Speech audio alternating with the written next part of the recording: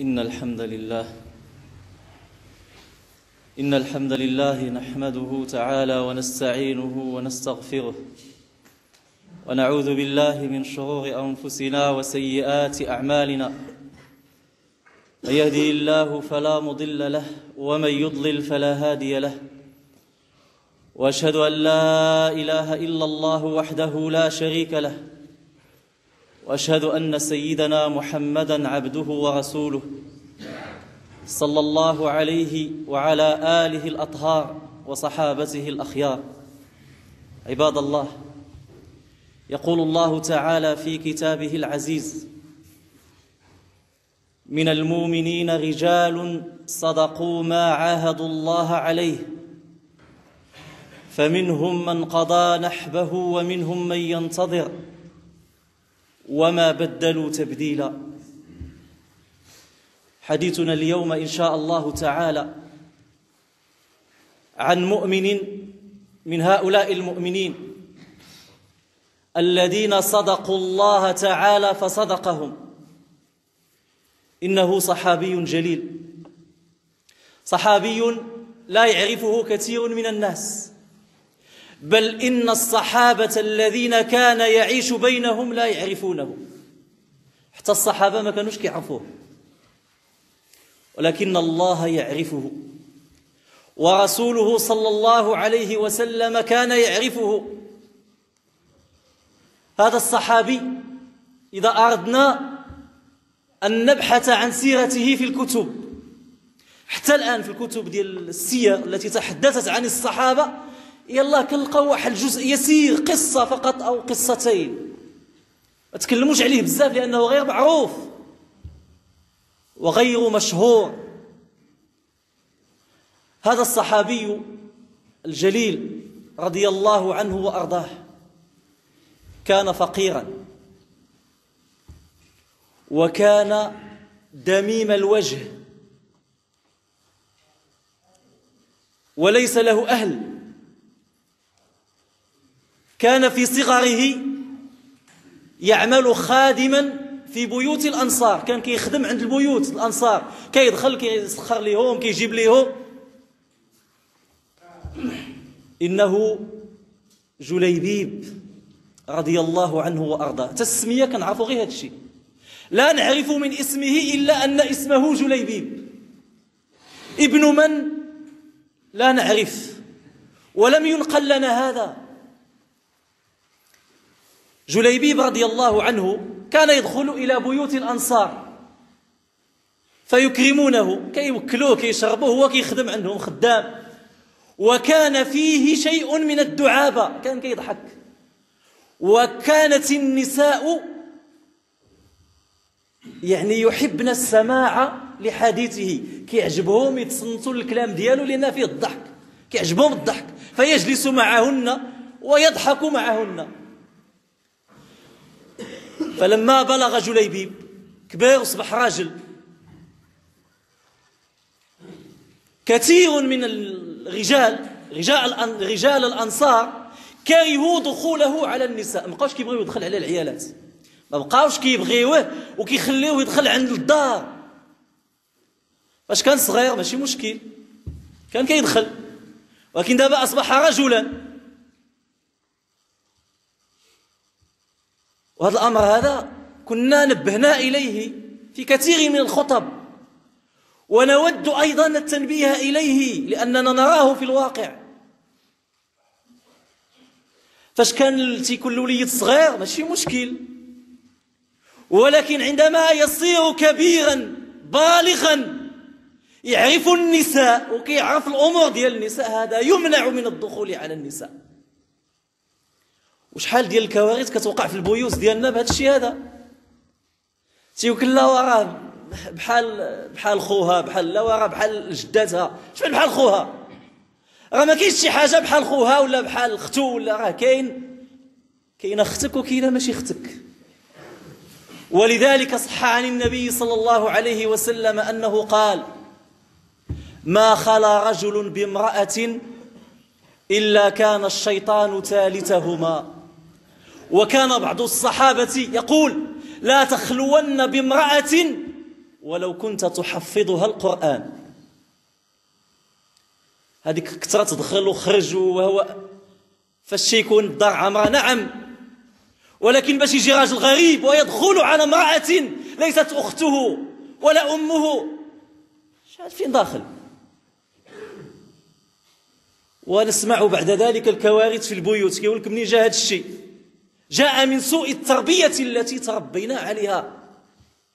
في قصة يوسف عليه السلام امرأة العزيز جاءت بيوسف طفلا صغيرا. قال لها زوجها عسى أن ينفعنا أو نتخذه ولدا. وكان عندها بحال الولد ديالها هي اللي رباته ولكن فاش كبر؟ وراودته التي هو في بيتها عن نفسه وغلقت الأبواب وقالت هيت لك. أما بقاش بحال ولدها. أصبح رجلا أصبح يشتهى. أما يمكنش تدخل راجل مع امرأة وتقول لي راه بحال أمي بحال أختي ولا كان فعلا بحال أمك ولا بحال أختك خصك تشوف الطبيب. ولذلك نهى النبي صلى الله عليه وسلم عن الخلوة بالمرأة الأجنبية. الأنصار. جليبيب هذا كان رجل دميم. دميم بمعنى الخلقة ديالو هذاك الشيء اللي عطاه الله ولكن غير مقبول عند الناس. ولكن مع ذلك رفض الصحابة أن يدخل إلى بيوت زوجاتهم في غيابهم. خلاوش بقاش كيدخل. فماذا فعل جليبيب؟ جليبيب رضي الله عنه لما كبر في السن وبلغ أشده أسلم وتبع النبي صلى الله عليه وسلم ولازمه في المسجد وأصبح من أهل الصفة. أهل الصفة هم واحد الجماعة ديال الصحابة الذين كانوا يحيطون بالنبي صلى الله عليه وسلم فقراء ما عندهم لا خدمة ما عندهم كيجلسوا مع النبي صلى الله عليه وسلم ولهم مكان في المسجد يجلسون فيه. تما كيباتوا يفترشون الأرض والغطاء ديالهم هو السماء فقراء. وكان جليبيب رضي الله عنه واحدا منهم. فمرة قال له النبي صلى الله عليه وسلم يا جليبيب ألا تتزوج؟ واش ما بغيتيش تزوج؟ فضحك جليبيب رضي الله عنه. قال يا رسول الله ومن يزوجني؟ شكون شكون هذا اللي غادي يزوجني؟ لا مال ولا جاه ولا جمال. شكون اللي غيزوجه شكون اللي غيمشي عنده يقول له هاك فقال صلى الله عليه وسلم أنا أزوجك. وكان من عادة الأنصار. الأنصار كان عندهم واحد العادة هو أن كل بيت من الأنصار كان عندهم شي بنت. بلغت سن الزواج. كان يأتي أبوها إلى رسول الله صلى الله عليه وسلم ويعرضها عليه. كيقول له راه عندي واحد البنت بلغت لسن الزواج. شوف إلا بغيتيها تزوج بها ولا شوف لما تزوجها. هذه كانت عادة الأنصار. وهذا الشيء راه عشناه حنا عشناه في البوادي ديالنا. كان الناس ديال الجماعة عندهم شي بنت كيشوفوا شي راجل في القبيلة معروف الفقيه ولا ما كان الفقيه عنده المكانة. هو اللي كيقلب لهم على الراجل. إما ليه ولا هو كيعرف الناس. دابا ولاو كيتزوجوا راسهم. تباها ما سيسيقش الخبر. فجاء هذا الرجل من الأنصار جاء رجل من الأنصار إلى النبي صلى الله عليه وسلم قال يا رسول الله اللي بنت بنت بنت وصلت سن الزواج. فقال رسول الله صلى الله عليه وسلم أنا أخطبها منك. فقال الأنصاري فرح. قال مرحبا برسول الله. وهل أجد أفضل منك يا رسول الله؟ قال ليس لي. شليا وإنما أخطبها لجليبيب. وجليبيب راه كيعرفوه الصحابة الأنصار كيعرفوه. فقال يا رسول الله حتى أستشير أمها. نشوف امها شنو غتقول. طبعا رفض. فرجع الرجل إلى زوجته. قال رسول الله يخطب ابنتك. قالت مرحبا برسول الله. وهل نجد أفضل من رسول الله؟ قال إنه لا يريدها لنفسه وإنما يريدها لجليبيب. قالت أما وجد غير جليبيب؟ وكان بعدا أبو بكر ولا عمر ولا عثمان ولا علي. ما لقى غير جليبيب؟ قالت والله لا يكون ذلك. ما يمكنش. لن أسمح بذلك. فتغير وجه الرجل. أصيب الرجل في الآن في حيرة شو يدير هل يرجع إلى رسول الله؟ ماذا يقول له؟ وكانت البنت تسمع. فسمعت كلام الأم والأب. فخرجت إليهما. فحكايا لها قالوا لها اش كاين اش كاين راه بغى يزوجك الجليبي. فقالت البنت وقلبوا لينا على بحال هاد البنات دابا ولا على الاولاد بحال هاد الشكل هذا. البنت اللي عندها رأي في البيت ماشي بحال بناتنا ولادنا. كنبقاو نقمعوا بهم تعرف عندها رأي مستقل داخل الأسرة. كيجي شي واحد الآن يحدثك عن حقوق المرأة. قالت ماذا قلتما؟ قال الأب والأم قلنا نستشير نستشيرك. فقالت أتردان أمر رسول الله؟ هذا أمر رسول الله مش فيه الاستشارة. مع أن الأمر هنا ليس واجبا. ماشي واجب عليها تطيع رسول الله في هذا الأمر. هذا لأنه أمر الزواج هذا. والزواج اختيار ويكون عن إرادة. ولكنه أمر رسول الله. وأمر رسول الله وإن لم يكن واجبا ففيه خير لك.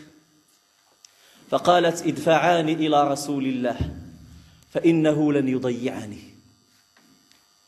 شوف الاستقلال داخل الأسرة. ما تبعدش بها ما تبعدش أمها. ولكن لها رأي مستقل وصائب. بل ورأي أنقذ الأسرة كلها من أن ترد أمر رسول الله صلى الله عليه وسلم. اللهم اهدنا واهد بنا واجعلنا هداة مهتدين آمين. والحمد لله رب العالمين.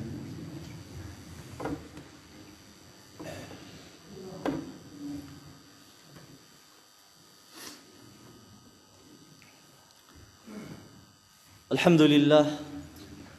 الحمد لله والصلاة والسلام على مولانا رسول الله وعلى آله وصحبه ومن والاه. عباد الله. كان موقف هذه البنت موقفا عظيما في تعظيم أمر رسول الله صلى الله عليه وسلم. فذهب أبوها وقد استبشر وجهه إلى رسول الله صلى الله عليه وسلم وقال قبلنا يا رسول الله. فدعا لها رسول الله صلى الله عليه وسلم دعوة لم يكن من عادته أن يدعو بها لأحد تزوج. كان رسول الله يدعو للمتزوج بالبركة. اللهم بارك لهما وبارك عليهما. هذه دعا لها دعوة أخرى مستقلة. قال اللهم صب عليها الخير صبا. ولا تجعل حياتها كدا كدا. دعاء من رسول الله صلى الله عليه وسلم. وزوجها رسول الله لجليبيب. وفي ليلة الزفاف. نهار اللي عنده العرس. سمع مناديا ينادي للجهاد. كان رسول الله سيخرج إلى غزوة من الغزوات. فخرج جليبيب وترك زوجته. خرج إلى الجهاد. فلما انتهت المعركة بدأ رسول الله صلى الله عليه وسلم ومعه الصحابة يسألون عن القتلى. فقال رسول الله صلى الله عليه وسلم من تفقدون؟ هل تفقدون أحدا؟ الصحابة لا يعرفون جليبي. كل واحد يقول نحن نفقد فلانا وفلانا وفلانا. فأعاد السؤال للمرة التالية هل تفقدون أحدا؟ فيسمون رجالا ولا يسمون جليبيب ثم أعاد السؤال للمرة الثالثة. وكان نفس الجواب. فقال رسول الله صلى الله عليه وسلم أما أنا فإني أفقد جليبيبة. يبحثوا عنه في القتلى. فأخذوا يبحثون عنه. فوجدوه فوجدوه مقتولا بين سبعة من الكفار قتلهم ثم قتلوه. فقال رسول الله صلى الله عليه وسلم هذا مني وأنا منه. قتل سبعة فقتلوه. هذا مني فأنا منه. قتل سبعة فقتلوه. نعم. جليبيب لم يكن معروفا. ومشهورش ولكنه كان معروفا عند الله عز وجل وعند رسوله صلى الله عليه وسلم. هذا مني وأنا منه. وحمله رسول الله صلى الله عليه وسلم بين ذراعيه. يقول بعض الصحابة كنا نحفر قبره وليس له سرير ينام فيه إلا ذراعي رسول الله صلى الله عليه وسلم. رسول الله يحمله حتى انتهوا من حفر قبره. ودفنه رسول الله صلى الله عليه وسلم. وفازت تلك البنت بدعوة رسول الله صلى الله عليه وسلم. قال بعض الصحابة والله ما رأيت في المدينة امرأة أنفق منها. ما كانش شي وحدة حالها في النفقة وفي العطاء. ببركة دعوة رسول الله صلى الله عليه وسلم. فكيف حالنا مع أوامر رسول الله صلى الله عليه وسلم؟ كيف حالنا مع سنة رسول الله. شحال ديال الأوامر ندوس عليها بالأقدام. كأننا لا نسمعها. وتيقول لك شحال من واحد الآن كتسمع بعض المرات فاش كتقول له السنة تقول صافي أنت يا حيد عليا غادي غير السنة الصحابة ما كانوا يتعاملون هكذا. الصحابة كانوا يطيعون رسول الله صلى الله عليه وسلم في كل صغيرة وكبيرة. وطاعة رسول الله صلى الله عليه وسلم كلها خير وبركة. كلها خير وبركة. بل إن طاعة رسول الله صلى الله عليه وسلم ركن من أركان الإيمان. ما كان لمؤمن وما كان لمؤمن ولا مؤمنة إذا قضى الله ورسوله أمرا أن تكون لهم الخيرة من أمرهم. أوامر الله وأوامر رسوله صلى الله عليه وسلم ما فيهاش اختيار. ماشي بغيتي ولا ما بغيتيش؟ كتقول له صليتي يقول لك مازال هذا ديري الحجاب بلاتي هادشي ما فيش النقاش عباد الله. هذه أوامر واجبة. ماشي ماشي زعما مستحبة إلا بغيتي ولا ما بغيتيش. وإنما يجب علينا أن نربي أبناءنا بغينا حتى حنا البيوت ديالنا يكونوا فيها بحال هاد البنيتة هذه كيكون عندها رأي مستقل وماشي غير مستقل. مستقل وعلى حق وعلى صواب. ماشي غير تابع. شخص له إرادة له استقلالية له عقل يفكر به ويميز به بين الصواب وبين الخطأ. هكا خصنا نربي وليداتنا إحنا لا يتأثرون بالإعلام ولا يتأثرون بالواقع الفاسد. بل هم يؤثرون في الواقع. ترى فيما مشيتي كيأثروا فيك. لا أنت ما تأثرش. كتوقف الوليد تبارك الله في الباك ولا ما عرفت تقول له كتصلي. تيقول لا واحد المره شي واحد البنت كتقول لي آه الصلاه أنا قلت لي أنا ما عمر والديا قالوا لي واش كتصلي ولا ما؟ حنا قالت ما عندناش الصلاه في الدار كاع كنصليوش نحن المسؤولون عن هؤلاء الأبناء. اللهم أصلح أحوالنا. وأحوال المسلمين أجمعين. اللهم أصلح أبناءنا وأبناء المسلمين أجمعين. اللهم ردنا إلى دينك ردا جميلا. اللهم ردنا إلى دينك ردا جميلا. اللهم إنا نسألك رحمة من عندك. تهدي بها قلوبنا وتجمع بها شتاتنا وتغفر بها ذنوبنا وتصلح بها أحوالنا. يا أرحم الراحمين يا رب العالمين. اللهم اجعل بلدنا هذا آمنا مطمئنا وسائر بلاد المسلمين. اللهم واشمل بهدايتك وتوفيقك. عاهل المغرب أمير المؤمنين الملك محمد السادس. اللهم أره الحق حقا وارزقه اتباعه وأره الباطل باطلا وارزقه اجتنابه. اللهم اجعله للحق وضدا على الفساد. اللهم أصلح به وعلى يديه. اللهم أصلح ولي عهده الأمير الجليل مولاي الحسن. وأصلح اللهم أبناءنا وأبناء المسلمين أجمعين. وصل اللهم وسلم وبارك على سيدنا محمد وعلى آله وصحبه وسلم تسليما كثيرا. سبحان ربك رب العزة عما يصفون وسلام على المرسلين والحمد لله رب العالمين.